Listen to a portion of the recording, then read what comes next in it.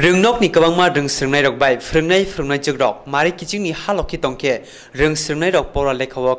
yo ta bốn nị chora nị kĩ sơ rừng professor ứng nị cọc sao cơ bang cô rừng sừng engineer doctor ứng nị cọc quan abo bai bài kĩ rừng phari manai này bút sáp bút professor lecturer ni bậc sitokna nangnai tamni hunke tabo ringnok ringno kotoro frungnai ni bia lengmani nukjaka hanoi kokthmai rongno saka hastepa romesh base sangasa dr sarvapuri radhakrishnan ni achima salna ragai ha kotor gnangai frungnai ni salpalai jaka abani logi logi haste obo sangasanli pongo hastefa te ringmantri sichi bihar ringnogor ring frungkha te ring sringnai robai koklam saraimani yagulo kokthmai rongni biskango koknano thani hastepa saka आज Sarvepalli doctor Radha Krishnan का जन्मदिन पूरे देश में शिक्षक दिवस के रूप में मनाया जाता है हम लोग भी सोचे चाहे मुख्यमंत्री हो, हमारे शिक्षा मंत्री हो,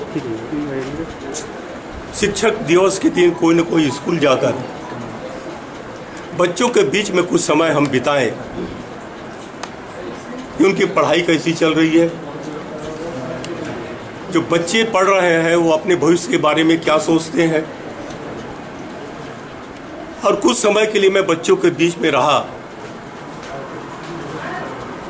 और बच्चे होशियार हैं काफ़ी और उसमें कुछ कर गुजरने की तमन्ना है। और सर्वपल्ली डॉक्टर राधा कृष्णन से प्रेरणा लेकर वो आगे बढ़ने का प्रयास कर रहे हैं। मैं जिस कक्षा में गया था, इलेवेंथ का था, और सारे बच्चे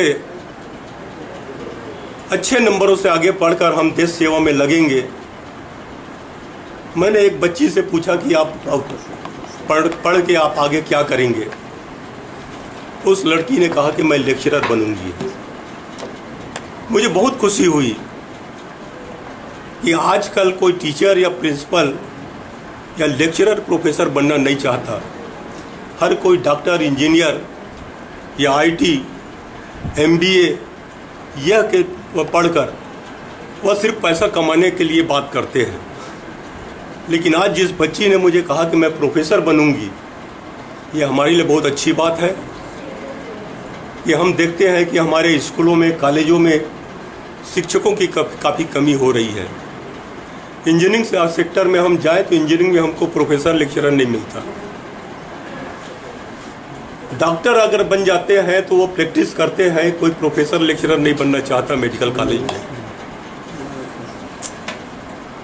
हर कोई पढ़ाई के साथ साथ देश के बारे में अगर सोचे कि मैं देश के लिए क्या कर रहा हूँ तो निश्चित रूप से हमारा भारत देश, जो हम महान कहते हैं, एक महान भारत की कल्पना जो हम करते हैं, वो सार्थक होगा।